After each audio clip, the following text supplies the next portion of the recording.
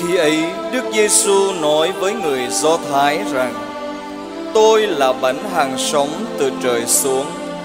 Ai ăn bánh này sẽ được sống muôn đời, Và bánh tôi sẽ ban tặng chính là thịt tôi đây Để cho thế gian được sống.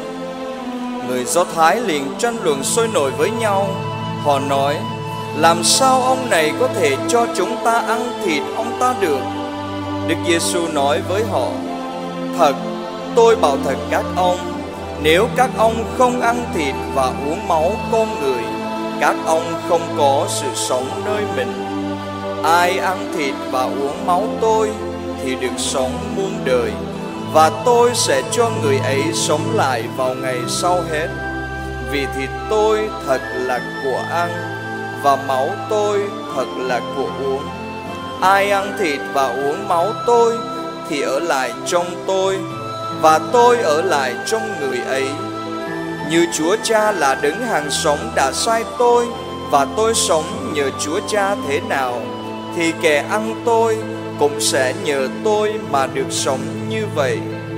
Đây là bánh từ trời xuống, không phải như bánh tổ tiên các ông đã ăn và họ đã chết. Ai ăn bánh này sẽ được sống muôn đời. Thiên Chúa yêu thế gian đến nỗi đã ban con một. Để ai tin vào con của người thì khỏi phải chết, Nhưng được sống muôn đời. Quả vậy, Thiên Chúa sai con của người đến thế gian, Không phải để lên án thế gian, Nhưng là để thế gian nhờ con của người mà được cứu độ. Ai tin vào con của người thì không bị lên án nhưng kẻ không tin thì bị lên án rồi vì đã không tin vào danh của con một Thiên Chúa. Bấy giờ một người trong nhóm 12 tên là Judas Iscariot đi gặp các thường tế mà nói, Tôi nộp ông ấy cho quý vị Thì quý vị muốn cho tôi bao nhiêu? Họ quyết định cho hắn 30 đồng bạc từ lúc đó, hắn cố tìm dịp thuận tiện để nộp Đức Giêsu. Ngày thứ nhất trong tuần bánh không men, các môn đệ đến thưa với Đức Giêsu. Thầy muốn chúng con dọn cho thầy ăn lễ vượt qua ở đâu? Người bảo, các anh đi vào thành, đến nhà một người kia và nói với ông ấy. Thầy nhắn, thời của thầy đã gần tới thầy sẽ đến nhà ông để ăn mừng lễ vượt qua với các môn đệ của thầy. Các môn đệ làm y như Đức Giêsu đã truyền và dọn tiệc vượt qua. Chiều đến, Đức Giêsu vào bàn tiệc với 12 môn đệ. Đang bữa ăn, người nói, Thầy bảo thật anh em, một người trong anh em sẽ nộp thầy. Các môn đệ buồn rầu quá sức, lần lượt hỏi người, Thưa Ngài, chẳng lẽ con sao? Người đáp, kẻ giơ tay chấm chung một địa với Thầy, đó là kẻ nộp Thầy. Đã hẳn con người ra đi theo như lời đã chép về người, nhưng khốn cho kẻ nào nộp con người, thả nó đừng sinh ra thì hơn. Juda kẻ nộp người cũng hỏi, Rabbi, chẳng lẽ con sao? Người trả lời, chính anh nói đó. Khi ấy đang lúc Đức Giêsu dùng bữa với các môn đệ, người cảm thấy tâm thần sao xuyến. Người tuyên bố: Thật, thầy bảo thật anh em, có một người trong anh em sẽ nộp thầy. Các môn đệ nhìn nhau, phân vân không biết người nói về ai. Trong số các môn đệ, có một người được Đức Giêsu thương mến. Ông đang dùng bữa tựa đầu vào lòng Đức Giêsu. Ông Simon Phêrô làm hiệu cho ông ấy và bảo: hỏi xem thầy muốn nói về ai. Ông này liền nghiêng mình vào ngực Đức Giêsu và hỏi: Thưa thầy, ai vậy? Đức Giêsu trả lời: Thầy chấm bánh đưa cho ai thì chính là kẻ ấy. Rồi người chấm một miếng bánh trao cho Judas, con ông Simon Iscariot y vừa ăn xong miếng bánh, Satan liền nhập vào y. Đức Giêsu bảo y, Anh làm gì thì làm mau đi. Nhưng trong số các người đang dùng bữa, Không ai hiểu tại sao người nói với y như thế.